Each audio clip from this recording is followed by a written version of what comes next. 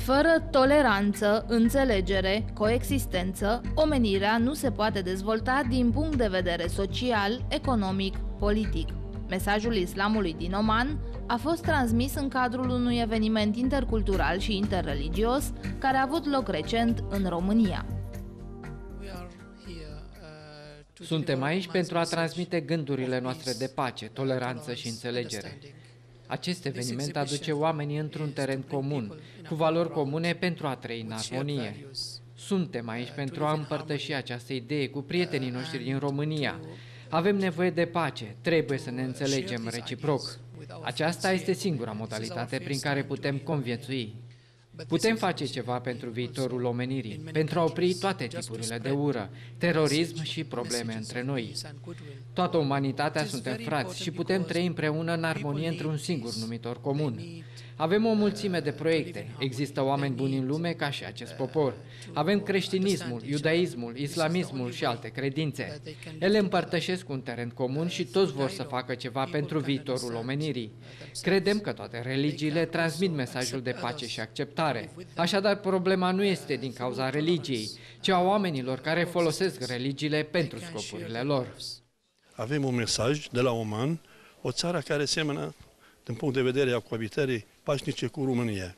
O țară de pace, o țară de toleranță, o țară de pe care uh, are uh, relații echilibrate cu toate popoarele și statele lumii, o țară pe care uh, trimite mesaje către lumea pentru a cunoaștere mai bine a popoarelor indiferent de religii sau de origine pe care sunt, acest lucru trebuie să existe, uh, să avem poduri între noi de cunoaștere, de a accepta unul pe celălalt și de a implementa acest lucru ca să avem întotdeauna să prezentăm mesajele noastre adevărate.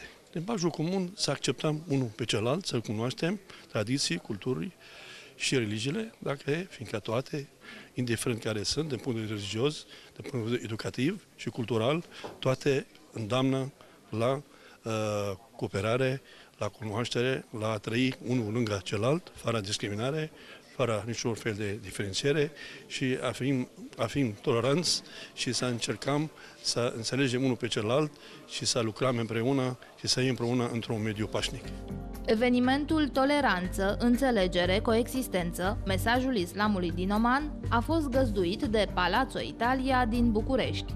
Obiectivul nostru Uh, cu incubatori de întreprise palațitale este să încercăm să împreunăm tot fel de populații. În primul rând, să reușim să, să înțelegă că toleranța este cel mai important uh, pas de trecut vis-a-vis -vis de, de uh, coexist, co, co, conviețuire într-o țară și am încercat cu acesta, aceste al doilea conferință uh, pe care am vrut să fie aici Omanului. Omanul este o țară în care practic este un exemplu de prietenie, toleranță și în care islam este islam adevărat, e respect, este cultură. Și am dorit să încercăm să uh, arătăm cu această conferință și această mostră în care practic sunt expuse diferite tablou, unde se vede exact ce, ce semna viața în Oman.